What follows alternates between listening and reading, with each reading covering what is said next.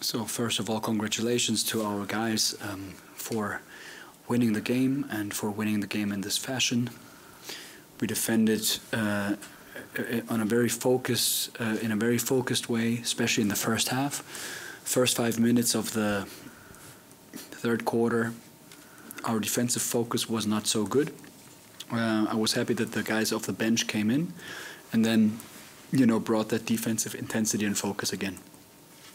Marius Grigonis is um, sick, so um, we had the situation where we decided to send him home. Uh, he, you know, as always, showed the character and the will to play, and uh, you know, he started the game. He started the game well, um, but then we felt it's better to send him home. He's just got a cold.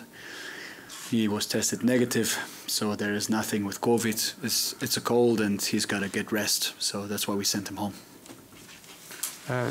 Sveikinu vyrus su pergalė ir ypač laimėjus tokiu stiliumi. Pirmoje rungtynių pusėje ypač buvau patenkintas komandos gynyba.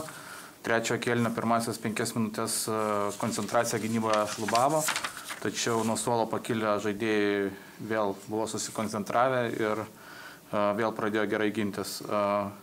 Marius Grigonis šiek tiek negalavo, todėl per didžiąją pertrauką nusprendėme jį siūsti namo.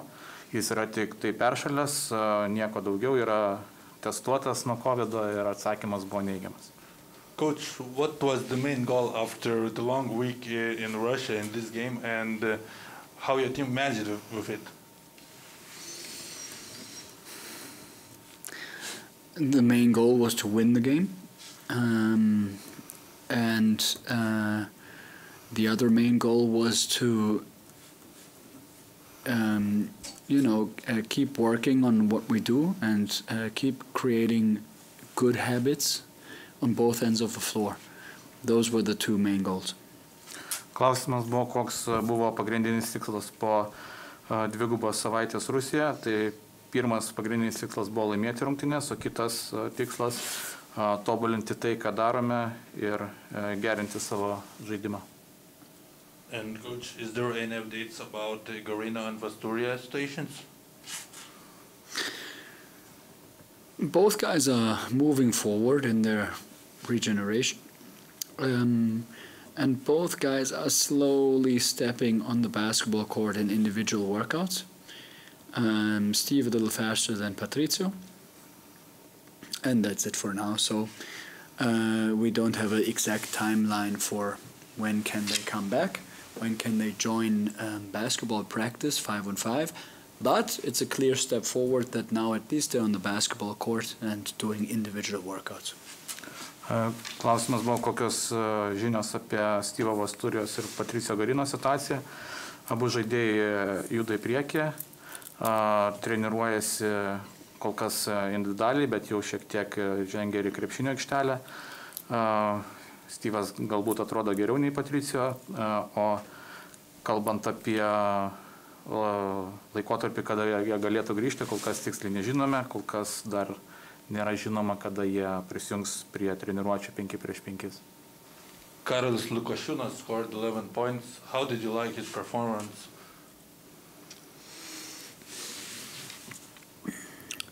Um, I liked his performance, especially because um, he um, also was focused on the defensive end, especially in the first half. You know, he came to the halftime actually with like you know four deflections where he like got his hands on basketballs and he was active on the ball. He was active away from the ball. With Cowell, the main thing is um, that in the minutes that he gets, he um, you know plays uh, solid basketball for us. That's very important um, because you know he's a good defender away from the ball, especially, um, and he's also um, uh, a basketball player who can do a little more than shooting. You know, it's not only shooting; it's also uh, catching and driving the ball, and then making a, a solid play from there. And that's very important for me. That you know he steps on the floor and uh, doesn't hunt the threes, but just like you know, uh, plays good basketball. And as he plays good basketball and solid basketball with good reads, um, he will also get his shots, of course, because you know he's a he's a very good shooter. Thank you, coach. Klausimas buvo, kaip vertinti Karolio Lukošiūno pasirodymą. Man jo žaidimas šiandien tikrai patiko, jisai buvo itin susikaupęs gynyboje, pirmoje pusėje padarė net keturis kamulio išmušimus, buvo aktyvus visą laiką gynyboje. Jis yra žaidėjas, kuris ne tik gali pataikyti iš toli, tačiau solidžiai žaidžia ir su juo kamuolys gerai juda polime jis gerai ginasi, todėl kai jisai gerai žaidžia, tai ir tie tritaškai metimai tada jam ateina. Labas vakaras. Aišku, pelnyti Žalgiris laimėjo, abiejos, abiejos rungtynės kontroliavo. Tik tai, manyčiau, gal kažkiek tai, jeigu pirmose rungtynėse ilgiau galėjom palaikyti tą, tą tokį intrigą ir, ir tą mažesnį taškų skirtumą, tai šiandien per anksti paleidom į priekį ir per stipriai. Ir tada jau tikrai, kad ir tas, tas taškų skirtumas sumažėjo iki 9 beros ar 7, bet, bet patys suprantam, kad ten, ten taip nepavyks ne tau perlūšti rungtynių. E, liūdina tam tikrų gal individualiai žmonių pasirodymai ir, ir e, nu, Karolis iš toleto. Nu, gražu. E, liūdina kelių, kelių žmonių e, pasirodymai individualūs, kaip sakiau. E, o džiugina trečias kelinys. Tikrai, aš suprantu, Žalgiris ir atsipalaiduoja ir mato tą rezultatą, bet man netaip svarbu gal Žalgirio ten žaidimas ar tas rezultatas ant, ant švieslentės. Turiu menį, kad mes atrodo kažką tai tokį kalam savaitę, dvi mėnesį, kažkokį tai aspektą vieną ir, ir tarkim, tau džiugina, kai tas, tas pradeda vykti. Tik tai gaila, kad sakau, mes kažkodėl tą trečiam kelinį pradėjom daryti, o ne, ne nuo rungtynių pradžios. Treneris Žalgeris pelnė 103 taškus, 16 pelnytų, pataikytų tritaškių. Kur buvo pagrindinės gynybos klaidos? A, tai visur, tai aš manau, ir atkovoti kamuoliai, ir, ir, ir susikalbėjimas gynybai.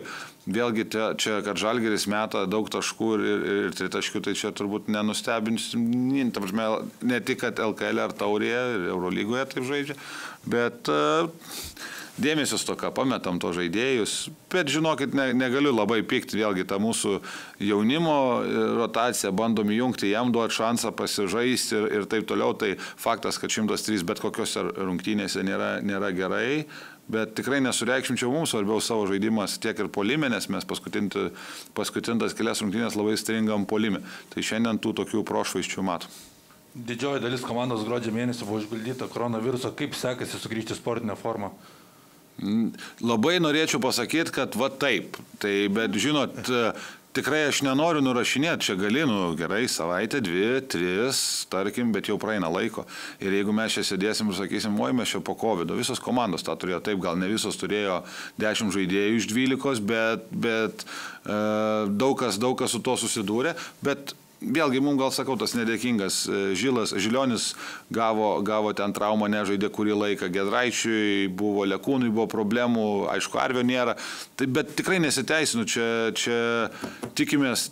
Turėjom ir dabar geriau žais, geriau žais, geresnė turi būti, ypač kai kurių, sakau, individualiai žmonių, nes jeigu, nu, žinot, Branko yra super profesionalas, žiauriai, ir, bet jam yra 38 metai ir jeigu jisai aikšteliai atrodo dvigubai greičiau negu mūsų 20 kelių metų iki 30 metų žaidėjai, tai čia verčia susimastyti to žaidėjai, nes jie visi prasirgi.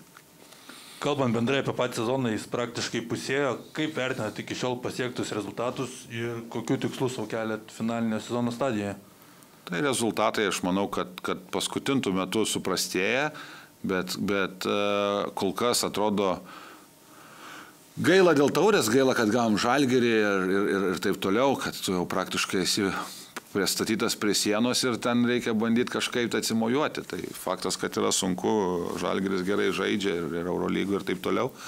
O, o tas balas pats, tai nežinau, sakau, labai, labai bus bus svarbu, kaip komandos sugebės laviruoti su to COVID. Tikrai, jeigu, jeigu daug dievė, kad komandos visos būtų sveikos ir, ir, ir galėtų sportuoti ir galėtų aikšteliai tikrai išsiaiškinti, kas, kas geresniai e, kas geresnį žaidimą demonstruoja, o ne kas veikesni, gal taip sakysiu, bet e, tikslai, kiekvienas rungtynės žiūrėti kaip lemiamas, banalu.